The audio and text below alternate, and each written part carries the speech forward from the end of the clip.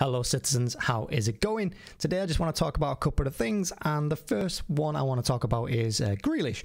Um, it's something I touched on a little bit in the Man City Fulham preview in the FA Cup uh, coming up this weekend, but I just want to talk about here as well, and that is Paul Merson's column in Sky Sports.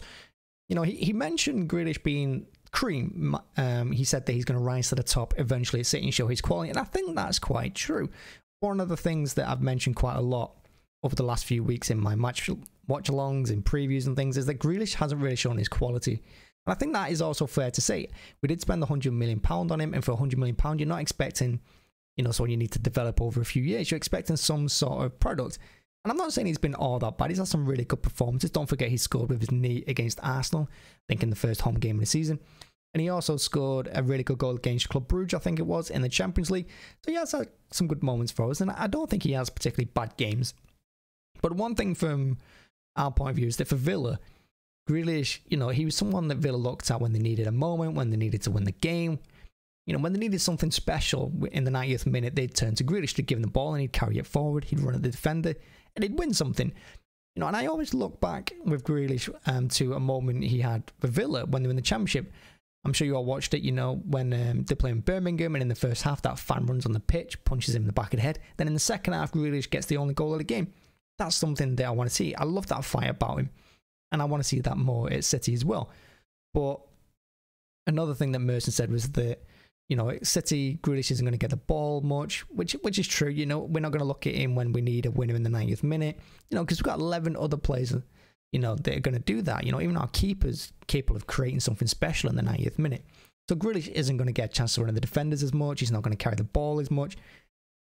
But you know, he still needs to show us a little bit something. And I don't want to keep going over it and over it every week, but I just wanted to point out because Merson did mention it. And he, said the Grealish 100 million pound price tag will be justified in the end. And next season, I think it will. You know, I think he's coming on. He just needs a little bit more time. Now, another thing I want to talk about as well is the the transfer window. Now, the transfer window for us wasn't particularly great. I don't think we were shocking in it. You know, we we signed Julian Alvarez you know, youngster from Brazil. He stays at River Plate on loan and he's coming to us next season. And I think I'm hoping he plays really well for us next year. You know, like he, he ends up being a bit like uh, Jesus has been for us over the last few years. You know, young Brazilian striker. He reminds me a lot of Ferran Torres. He's got pace, got a bit of height to him. He can use his right and left foot. Look forward to seeing him next year. But one thing that did come out the transfer window for us was Cancelo signing a new contract. And I think this went under the radar a little bit. Now, Cancelo signed a two year extension, so he's going to be with us till 2027 at least. And I think that's fair. I think that's a good signing from us.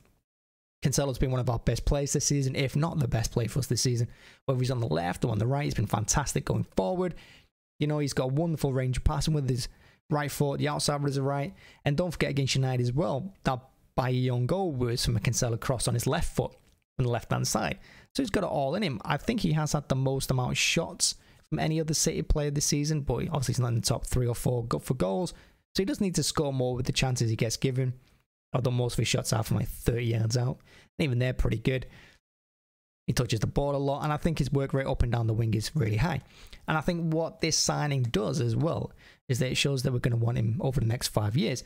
And I think as Walker gets older, we're going to need more cover for him. And Cancelo's going to be that cover, of course.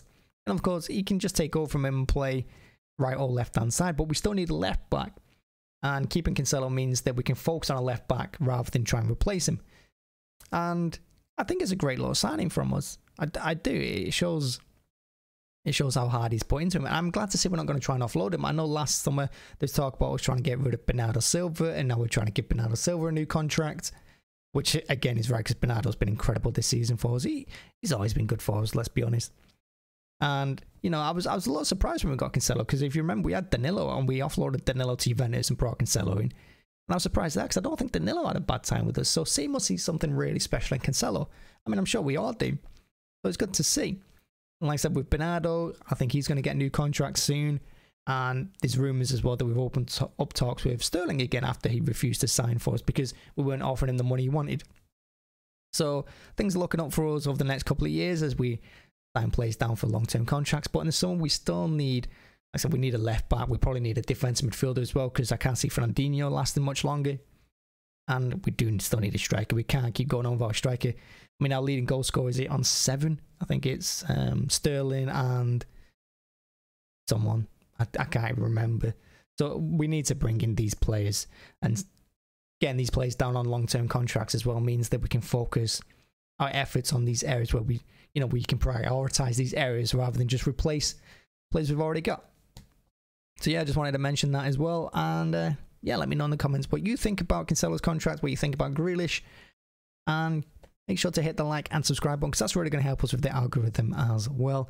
And if you can follow us on Twitter, that'd be nice. The Twitter link is in the bio, just 9320 Cityzens.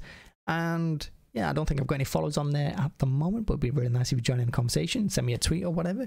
I'm sure I'll reply in a few days because I don't really tweet that much. I'm trying to. And um, like I said last week, I am going to hopefully do some live things soon. I am going to be doing a watch along for the Fulham game this weekend, so make sure to tune into that. And I'll see you there. Other than that, have a great week. Thank you very much for watching. Have a great day.